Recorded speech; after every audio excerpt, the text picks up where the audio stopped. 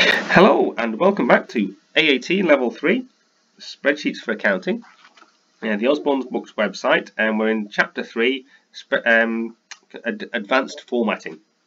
We're in the section uh, on page 76 Cell and Worksheet Protection. So what is uh, this about? Let me highlight here this whole sheet. I'm going to right click, format the cells and we're going to this protection tab here. It's got this thing called locked in here. And what that means is if we use the protect sheet option here, so this one here, and we actually protected the sheet, um, it would lock it and nobody could get into any of this. So what I'm going to do is I'm going to use it in there though. Um, I'm going to switch this off so users can't use locked cells. In here I'm going to use a password called, let's say, hello. Okay, and I'm going to do that again. And there we go. And now as you see how much I desperately try and left click in this sheet here, nobody can get into it when I, when I send it across. Let me now un unprotect that and put that back in. Cool.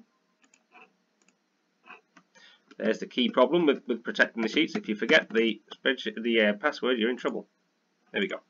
It's capital H. Right, so that's not much. Uh, let's let's say though that I actually want to allow um, people to move around these two cells here, and they can change it, but they're not going to change anything else. So I right click into here, I format the cells, I switch those to off so that they're not locked. Okay. I then go back to my protect sheet, and they're not going to be able. They can not going to be able to select locked cells. I put in my password again here. Now, see now that there are now just two options in this, I cannot click anywhere outside of there. And so I could say, well, you can do that. Or you can change it to that. But what you're not going to be able to do is go into these individual cells over here because you can't get anywhere near it.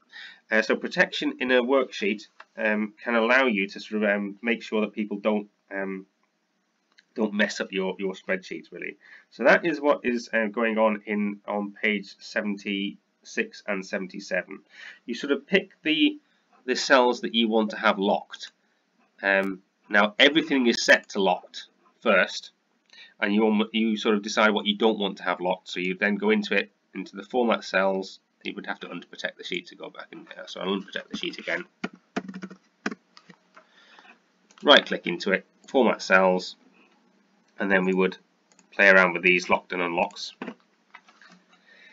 Then once you've decided what they're going to be, you open up the protect sheet.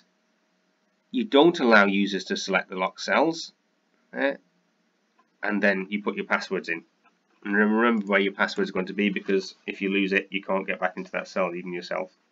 Okay, so that's how you protect um, the the worksheet within the uh, that. That takes us down through uh, to 77 and it's in the review bar uh, the work protect sheet and uh, protect workbook.